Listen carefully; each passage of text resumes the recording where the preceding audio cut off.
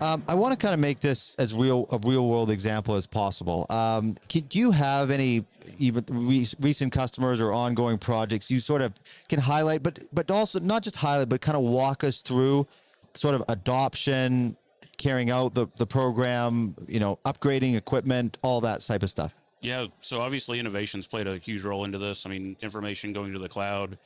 Uh, one of the case studies that we had just recently done was with Utilisource.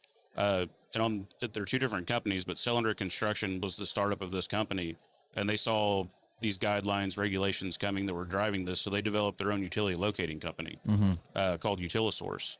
And what Utilisource is doing is they're going out and doing all of their own locates before the Sellenriek Construction crew comes in to do the HDD work. And what they're doing is they started generating maps based off of this. So they started basically from the format of utility locating, but then started developing as they were doing the work, they were building the Right. in there too. And there was multiple different use cases for them as well, because as a contractor, having something in digital form allowed them to get paid quicker on those job sites. Right. So yeah. that was that was a huge benefit. People can actually see it. But then from the safety aspect, they were able to go in and start generating these maps for small cities, municipalities, and those municipalities saw the value in it because now they have that map. They have that digital view of everything that's in the ground. Okay, so this is this is kind of a key thing for me. I mean, I've I've got a bit of a sales background in that in business development, so it's a different technology, but it's, it's sort of the same principle.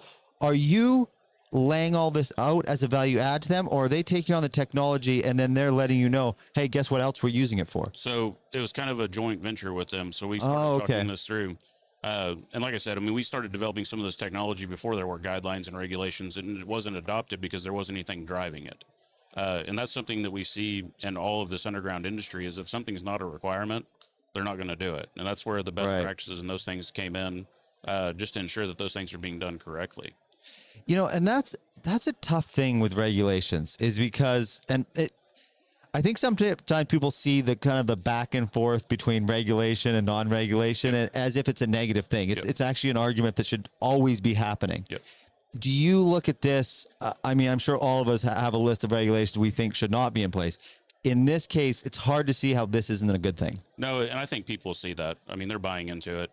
Uh, I mean, we're seeing more and more cities looking at these guidelines that are being set out by other states and seeing that level of adoption grow at a, at a faster rate. So uh, going back to Utilisource, then, if the the adoption of this is this, I mean, I I'd, I would imagine in their business they're already pretty capable. Yep. Um, so is it a day adoption? Is it an hour? I mean, if they have multiple operators, what what would be the rollout for that? It, it is pretty high level as far as adoption when you start looking at it. Okay. It, it does take some manpower, uh, but it pays dividends in the end. And I think that's where they're able to see that. And Steve Sellenriek, the president of Sellenriek Construction, is actually on the board of CGA. So CGA is the Common Ground Alliance that's kind of helped drive this this whole mapping process. Uh, and they've done multiple different use case presentations at that trade show and talked through uh, basically the kind of the features and benefits of what they're doing. Uh, and a lot of those guys, you know, as a contractor, they see that getting paid quicker is a, is a much better deal Right. as far as turnaround. But they're also seeing what they're able to do with this. So think, for instance, where where they're putting in fiber today, they may be putting power in two weeks later, right? Right. Yeah. But they're also able to leverage the data, uh, not only from the rigs, so like telematics information that's coming in. They can look at that type of information. They're able to look at this job took us this long, and they're getting much more accurate on their bids as well.